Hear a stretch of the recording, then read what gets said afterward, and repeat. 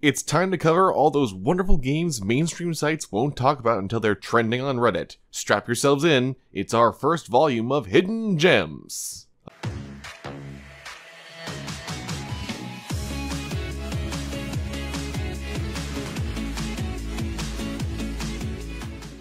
Available now. HROT is a game I've been covering forever. I still had Yahtzee's fanboys convinced I was conspiracy against him, even though we worked for the same website, when I first previewed what would become the various parts of just the first of three episodes of Czechoslovakian dystopian Cold War Half-Life meets Quake meets Blood, boom shootin' bliss. There's two reasons I'm not doing a full video of HROT. One, because to spoil the sheer weirdness of the game is to do it a great disservice. Seriously, this game is a riddle wrapped in an enigma aiming to give you a prostate exam with a pitchfork while a mutant version of a former communist leader chases after you with spider legs. And that's not even like the third weirdest thing. Two, because seeing it in action tells you more than my words ever could. Every clip you're seeing, all the madness, pair it with some of the best balanced and inventive scenario design you'll ever experience. HROT is brutal. HROT is enviably smart, truly. If you want to know how to do good level design, look at this game. It's incredible. And HROT is so good that it makes it easier to accept that the third episode kinda shits the bed. Only kinda, it's honestly the briefest episode, so you're still riding high, but yeah, it, it kind of is a little bit of a letdown right at the end. Everything else though, including the endless mode, is just frigging rock solid. When I agreed to look at Dust and Neon, I'll admit, I was conflicted. On one hand, it had the makings of great presentation and solid gunplay. On the other, it's the latest in a sea of roguelike twin-stick shooters. It would have been exceptionally easy for this game to fall flat on its face as a generic bit of action, but lo and behold, Dust and Neon is anything but. The story and attempts at comedy aren't what you'd call outstanding, but that's not what you're here for. From the genuinely incredible reload animations, I love that it pops up really close and personal, it's just a great touch. To the satisfying cone of effect aiming system, playing Dust and Neon is outstanding. Its creators clearly understood that game feel is the lifeblood of this kind of experience and they roll with it beautifully. Everything is fine tuned to perfection. It all flows well. The different weapon options and classes feel great. There's an isometric friendly cover system that works perfectly. Enemies are well varied. The universe, while yes, not bolstered by the best story, is at least visually and sonically quite pleasant to navigate. It's really well done. It knows how to introduce you to this kind of game if you've never played a rogue before in your life, and it just substantially punches above its weight despite only costing a fistful of dollars. Speaking of shooting from strange angles, Theyest Thou, from the creator of Rot Flesh, is a curious mixture of dynamic puzzles and shooting. Think Hotline Miami, but with the brain-tickling depth of Portal, except instead of ripping holes in space-time, you're telekinetically wielding guns to dispatch enemies in the way of saving the royal heir you're sworn to protect. It's super minimalist, despite a fair bit of lore revealed in text logs, with the emphasis almost entirely on solving each new level. It has the same vibe as all those old Flash games on Kongregate and Newgrounds, which is either a plus or a minus. Because you can skip any level that's proving too hard, but the difficulty even on normal can be outright crushing in the final stages, demanding reflexes and forethought greater than the controls usually allow for. Still, despite another case of a rough finale, the journey getting there is more than worth the price of admission. So, I have a confession to make. I really, really didn't care for Vampire Survivors. Crazy, I know. It was akin to watching paint dry for me. I just really prefer something that's a lot more engaging that pulls me in as opposed to something so passive. As such, you can imagine my delight when I received an email about Vampire Hunters, which solves the paint drying issue of slowly waltzing around a bunch of Castlevania mountainsides, with instead a hybrid of Doom-style ever-aggressive combat and the escalating weapon complexity of your infinitely expanding arsenal in Survivors. As a result, yeah, Vampire Hunters is definitely more challenging than its primary inspiration. It's still a mostly mindless monster mash, but there's actually enough to engage with that. If you're like me, you can finally get something out of the experience. The current early access build has two levels, and they're looking to build upon it just like Survivors did before that. Bolstered by solid game feel, colorful monsters, and plenty of upgrades to grind for, the new Survivor-like trend at last has some bite.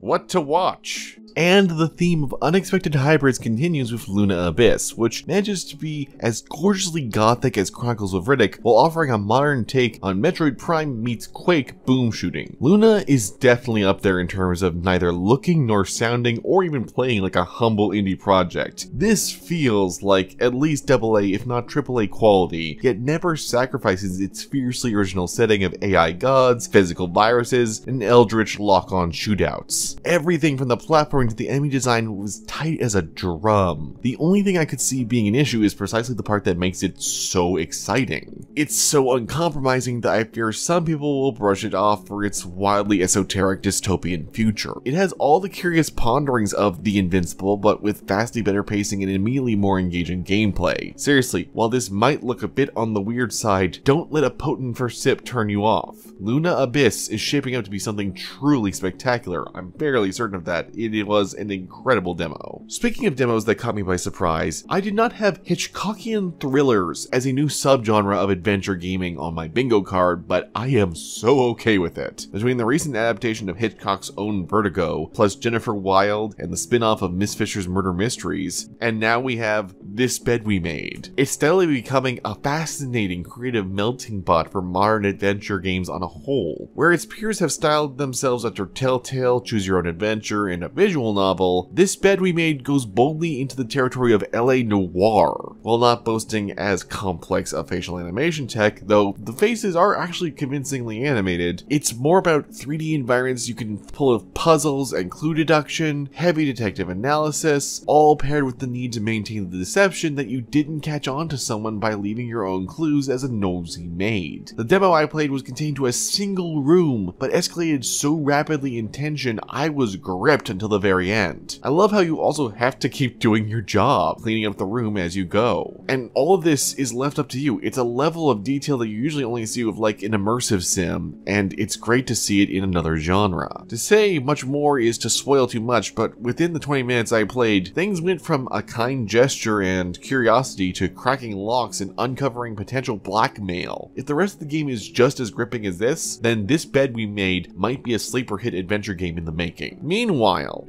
may be one of the 10 people who remembers Lionel's Train Town, but I suspect the team behind Station to Station can also be counted among such illustrious players, while with their beautifully rendered train-based puzzler that feels like a loving homage with its own distinct flair and twists. Despite looking like a folksy economic sim at first blush, or maybe just kind of like a world terrarium sort of situation, this is all about optimizing your railroads to score as many points as possible at the lowest cost. Unlike a lot of puzzle games though, it never tells you how to do things. It's nowhere near as restrictive as so many puzzle games that have been coming out. The mechanics are fluid and messy enough that you can get away with some janky or downright deviously clever railroads. That's why Station to Station is absolutely on my watch list now. It's a puzzle game that understands creativity is as important as attention to detail. Optimizing your resource rotations for maximum output, especially with one-time use card modifiers, makes for a remarkably engaging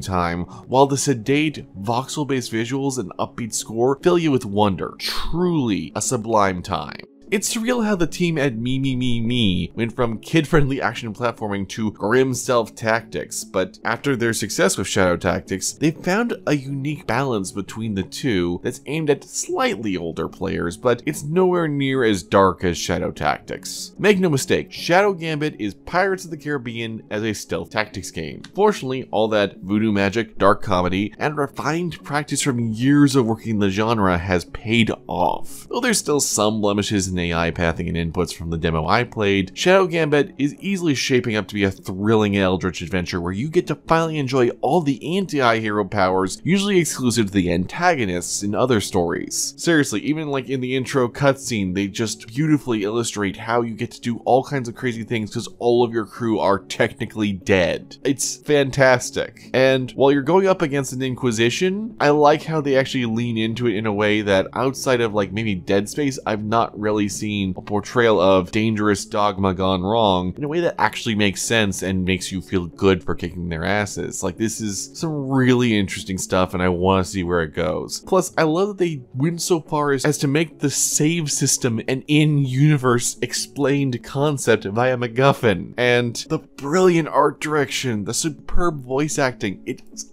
all just so good, so good. I'm really excited to see where this goes. And finally, by far the most surprising of this volume's finds has to be En Garde, a loving tribute to Zorro that blends ideas of Shadwin, Arkham Knight, and Witcher to wonderful effect. Starring a femme fatale who swings both ways, you take on a corrupt government, one idiot goon at a time, in a lighthearted but mechanically complex adventure of sword-slinging hijinks. Not only is there a full campaign planned, but the demo even included an early glimpse at the Arena Challenge mode, where you can test your might, harnessing physics objects, skillful yet intuitive swordplay, and parkour to win the day. It feels equally modern and retro inclined, with an aesthetic and physics that's equal parts PS2 and DreamWorks film in execution. Really, my only issue is that sometimes the pacing of combat can be a little jittery, but it's to support ample responsiveness, which is a worthy sacrifice. I'd much prefer that than the stiffness of, say, Jedi Survivor. Well, I initially worried, as there's been other Arkham-inspired indies that have fallen flat, En Garde shows the promise of being a true heroic ballad in the making.